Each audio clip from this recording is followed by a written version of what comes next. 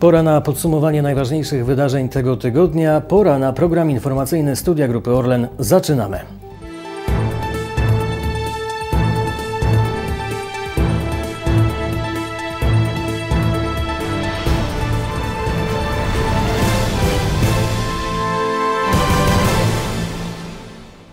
Grzegorz Szałkowski, dzień dobry. Jak zawsze na początek najważniejsze tematy tego wydania. Druga edycja Kongresu 590. Spotkanie kadry w Anwilu. Dyskutowali o innowacjach. Uwalniamy polski potencjał. Pod takim właśnie hasłem odbyła się druga edycja Kongresu 590. W Jasiące pod Rzeszowem spotkali się przedstawiciele świata biznesu, polityki, nauki, by rozmawiać o potencjale polskich marek, a także konkurencyjności gospodarki w wymiarze polskim i europejskim. Kongres otworzyło wystąpienie prezydenta RP Andrzeja Dudy, który objął honorowym patronatem wydarzenie w stolicy Podkarpacia. Polska musi być krajem innowacyjnej gospodarki. Co to oznacza? Oznacza brak, który cały czas u nas występuje. Mamy, proszę Państwa, cały czas jeszcze niski wskaźnik innowacyjności. Ja już wspominałem o ustawie, która jako druga, mam nadzieję, niedługo wejdzie w życie. Ale to jest kwestia też tego, żebyście Państwo mieli właśnie tą odwagę realizacji zadań badawczo-rozwojowych, ale przede wszystkim, żebyście mieli Państwo odwagę inwestycyjną. To jest coś, czego nam w Polsce dzisiaj bardzo brakuje. Orlen był organizatorem dyskusji panelowej pod tytułem Gospodarka 4.0 Czas na zmiany, w którym koncern reprezentowała Maria Sosnowska, członek zarządu do spraw inwestycji i zakupów. Punktem wyjścia do dyskusji był raport przygotowany przez ekspertów z PKN Orlen zatytułowany Gospodarka 4.0 Czas na zmiany. Czwarta rewolucja przemysłowa wiąże się z dostępem do ogromnych ilości informacji, które pozwalają na bieżąco modelować i optymalizować procesy związane z zasobami, produkcją, dystrybucją, ludzką pracą i jej efektywnością. Wszystko może być niedługo wystandaryzowane, mierzalne i policzalne, a zaawansowana prognostyka oparta na sztucznej inteligencji pozwoli zmniejszać koszty, zwiększać zyski i będzie skutkowała zmianą obecnych modeli biznesowych ta gospodarka 4.0 może wygenerować dodatkowy popyt. Myślę tutaj o rozwoju elektroniki czy elektromobilności, która będzie potrzebowała zaawansowanych materiałów petrochemicznych. Na przykład firma doradcza Roland Berger szacuje, że w obecnej pięciolatce ten wzrost popytu będzie około 25%, a w następnej dziesięciolatce ponad 45%.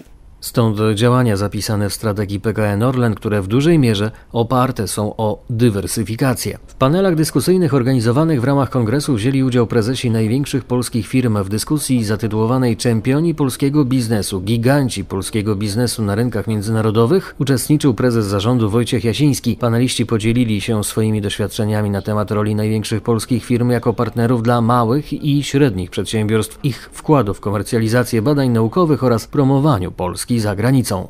Orlen chce wspierać drobne firmy, niewielkie, ale także większe. Zdaje sobie sprawę, że taka powinność na nim ciąży, tylko pewne warunki muszą być spełnione i to po obu stronach.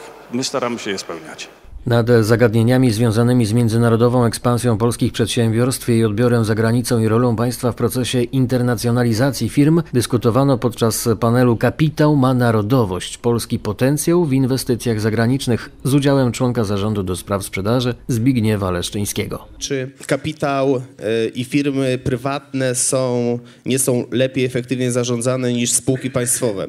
Ja mogę powiedzieć i świadczę o tym notowania na giełdzie papierów wartościowych w Warszawie, że polskie spółki, spółki Skarbu Państwa dobrze zarządzane mogą e, przynosić bardzo dobre wyniki i widzimy rezultaty e, tych, tych, tego dobrego zarządzania również poprzez kapitalizację tych spółek. Główny ekonomista Adam Czyżewski uczestniczył w panelu poświęconym reindustrializacji, który stanowi jeden z pięciu obszarów strategii na rzecz odpowiedzialnego rozwoju ukierunkowanej na budowę przewag konkurencyjnych polskiej gospodarki. Nie jest ważne, czy będziemy motorem re reindustrializacji Europy. Nie martwmy się o to. Kto będzie motorem re reindustrializacji Europy? My się martwmy o to, co jest ważne dla nas, to chodzi o to, żeby reindustrializacja przemysłu właśnie w tym kierunku, poprawa efektywności tam, gdzie już jesteśmy i wytworzenie własnych globalnych marek była motorem wzrostu naszej gospodarki. Podczas kongresu koncern zaprezentował się uczestnikom także w formie dwóch stoisk promocyjnych. Główną atrakcją stoiska sportowego była Toyota GT86 driftowe auto Kuby Przygońskiego, a przede wszystkim sama obecność mistrzów kierownicy Kuby Przygońskiego właśnie oraz Macieja Giemzy, dwójki zawodników Orlen Team, którzy już za kilka tygodni będą reprezentowali nas podczas rajdu Dakar. Na stoisku był również dostępny model dystrybutora paliw, którego monitor zamieniał się w specjalnie przygotowaną grę. W centrum kongresowym została stworzona również specjalna specjalna strefa Orlen Stop Cafe. Kolejki nie malały, a w ciągu dwóch dni kongresu wydano 500 litrów kawy, ponad 2000 sękaczy, 1000 wypieczonych ciasteczek oraz zużyto 1,5 tony pomarańczy, czy blisko 1200 butelek wody All Shop. PKN Orlen był partnerem strategicznym kongresu 592. edycja zgromadziła ponad 3000 uczestników. Przed rokiem odbyło się pierwsze tego typu spotkanie we włocławskiej spółce z naszej grupy kapitałowej Top 70, czyli spotkanie najważniejszych osób zarządzających wszystkimi obszarami w Anwilu. Przed kilkoma dniami kadra menedżerska spotkała się ponownie na dorocznym spotkaniu Top 70 chemicznej spółki. Tegoroczne spotkanie stało się platformą do prezentacji pomysłów służących rozwojowi firmy, które zaprezentowali raportujący bezpośrednio do zarządu dyrektorzy obszarów i szefowie biur. Głównym tematem pierwszego dnia spotkania, który otworzył prezes zarządu Jacek Podgórski, były prezentacje 12 najlepszych projektów na rozwój firmy. Zwycięskie pomysły zostały wybrane spośród wcześniej 64 zgłoszonych. Autorzy zaprezentowali je osobiście i choć niektóre były bardzo skomplikowane, to jednak każdy musiał się zmieścić w ściśle określonym limicie 10 minut. Tyle czasu mieli pomysłodawcy na przedstawienie swojej idei i przekonanie do niej słuchaczy. Przedstawione w dwóch turach projekty zostały ocenione przez uczestników i poddane pod głosowanie. Z każdej tury wybrane zostały trzy najlepsze, które weszły do finału, a następnie spośród nich, po długiej dyskusji także z udziałem zarządu firmy, również poprzez głosowanie wyłoniony został zwycięski projekt. Na miano najlepszego projektu zdaniem uczestników Anvil Top 70 zasłużył pomysł Beaty Krupińskiej, dyrektor obszaru BHP i prewencji, zatytułowany organizacja załadunku poza ogrodzonym terenem zakładu produkcyjnego. Ważnym elementem dwudniowego spotkania była także część szkoleniowa nawiązująca do pierwszego dnia. W programie szkolenia znalazły się elementy skutecznej komunikacji, podstawy etykiety w biznesie oraz zasady profesjonalnego wizerunku. W naszym programie wciąż o debatach i rozmowach, tym razem o spotkaniu w Płocku, na którym pojawili się przedstawiciele obszarów biznesowych z Orlenu, po to, by porozmawiać na temat problemu zaproponowanego przez Biuro Innowacji. Wymiana doświadczeń i dyskusja odbyła się w ramach warsztatów z innowacjami, które właśnie te biuro organizuje. Jest to cykl sześciu warsztatów, z których odbyły się już dwa. Każde ze spotkań poświęcone jest innemu wątkowi. Do tej pory uczestnicy rozmawiali o praktycznych aspektach innowacyjnych rozwiązań oraz o paliwach przyszłości. Chcemy przede wszystkim skupić się na e, tworzeniu społeczności, która mogłaby się wymieniać inicjatywami, nowymi pomysłami i przede wszystkim na takich warsztatach jest szansa dla nich na podzielenie się swoją opinią. W Orlenie ta innowacja jest y, powiedzmy związana głównie z nowymi instalacjami, no bo taki jest y, model biznesowy. Natomiast poznanie e, tego wdrażania czy tych innowacji w innych firmach pozwala trochę rozszerzyć swój horyzont, tak? bo jesteśmy skupieni powiedzmy w jednym kierunku, natomiast to pokazanie w jakim e, i jak to jest robione w innych firmach pozwala trochę rozszerzyć horyzont, powiedzmy otworzyć oczy, że na przykład dzisiaj e, nie zdawałem sobie sprawy, że punkt A może mieć powiedzmy wpływ na punkt B, który na przykład ten punkt B jest częścią na przykład modelu biznesowego Orlen. Warsztaty są skierowane przede wszystkim do osób o wykształceniu technicznym, mm, ale również zależy nam osobach e, o umysłach takich analitycznych e, oraz ekonomicznych, ale najważniejsze e, w tych warsztatach chodzi nam o to, żeby uczestnicy mieli tą nutkę innowatora, czyli po prostu chcieli się zaangażować w projekty mm, innowacyjne, nowoczesne oraz projekty, które będą miały wpływ realny na, na tę firmę. Na każdym z warsztatów są inni prelegenci wśród nich znajdują się także pracownicy koncernu. Stałymi mentorami warsztatów są profesor nauk technicznych Andrzej Górak oraz Czesław Bugaj, znany wielu pokoleniom pracowników firmy, autor licznych pomysłów i inicjatyw wdrożonych w zakładzie produkcyjnym w Płocku. Na kolejne warsztaty Biuro Innowacji zaprasza 13 grudnia.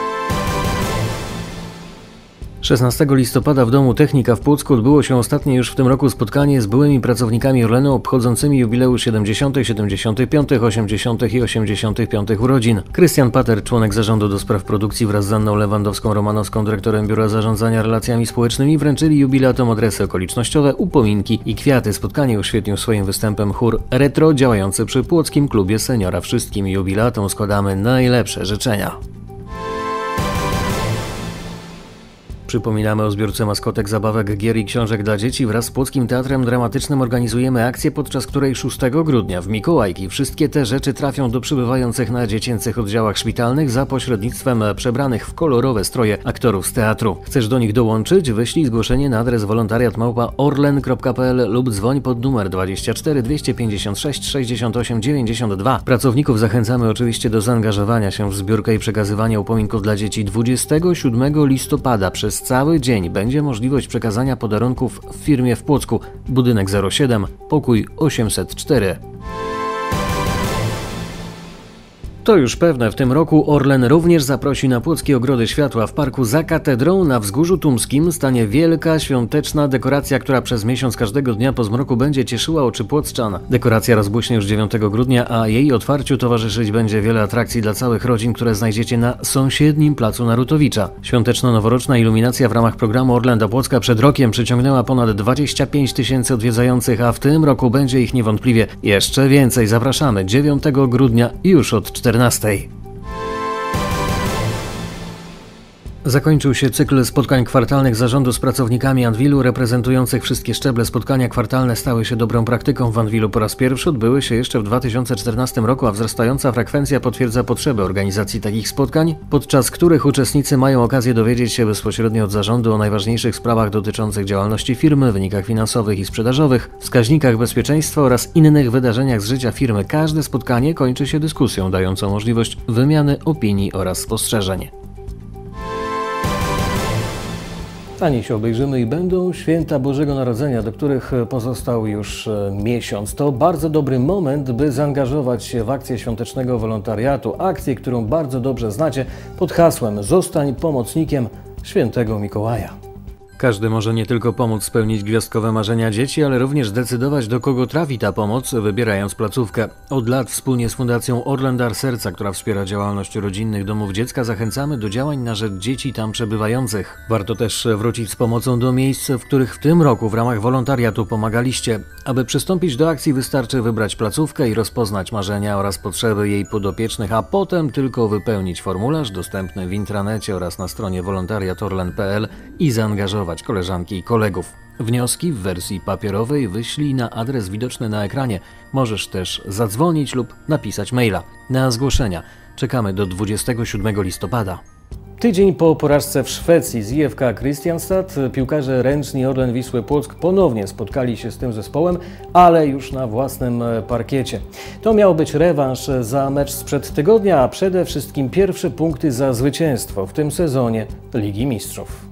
Nie udało się ani jedno, ani drugie. Końcowy wynik remis po 25 nie dał satysfakcji nikomu. Szwedom uciekło zwycięstwo, choć prowadzili już pięcioma bramkami, co martwi bardziej nie postawili kropki nad i piłkarze z Płocka, choć mogli to zrobić nawet rzutem wolnym wykonywanym po ostatnim gwizdku spotkania. Sędziowie nie uznali bramki. Oni nam uciekają na 4-5 bramek i my zaczynamy grać. Gramy wtedy agresywnie, zespołowo, szybko. Y, z jajem, że tak powiem i, i doprowadzamy do remisu. No szkoda tej ostatniej sytuacji, ale to w ogóle nie można na to patrzeć, bo czy on tam przekroczył linię, czy podniósł nogę, to jest, nie jest istotne. My powinniśmy grać yy, o wiele lepiej, w szczególności jeżeli chodzi o, o tutaj tą halę. No coś nam nie wychodzi. Pomysł taki, że musimy po prostu grać bardziej efektywnie. Musimy wykorzystać to, że Marko Terabocha wraca, ale nie można oczekiwać od tego, że będzie natychmiast teraz już grał na 110% i wszystko będzie wychodzić. To jest, to jest pierwsza sprawa trzeba lepiej zagrać mieć więcej alternatyw w środku obrony, nie tylko Maćka i inne Manie, trzeba e, sobie wypracować więcej alternatyw na boisku, bo dzisiaj w drugiej połowie, w tym momencie, kiedy Krystianstad zaczęło prowadzić, to zbyt dużo bramek padło przez środek jednak obrony. E, jest, jest dużo rzeczy, które, które trzeba poprawić i, i to jest wszystko proces, dlatego że zespół no ja powiem to jeszcze raz, no jest po prostu zmieniany na kluczowych pozycjach i z tym się trzeba liczyć i o tym trzeba wiedzieć. Ostatni mecz w Lidze Mistrzów w tym roku kalendarzowym w sobotę z francuskim Nons. Sytuacja szczypiornistów z Płocka jest delikatnie mówiąc bardzo trudna, ale poszukiwanie zwycięstw w tym meczu oraz w lutowym spotkaniu w Płocku z Zagrzebiem spowoduje, że Wisła nie pogrzebie jeszcze szans na awans do czołowej szesnastki. To wszystko, co mieliśmy Państwu do opowiedzenia w tym wydaniu Studia Grupy Orlen. Kolejny program oczywiście za tydzień, na który już dziś serdecznie zapraszam. Do zobaczenia.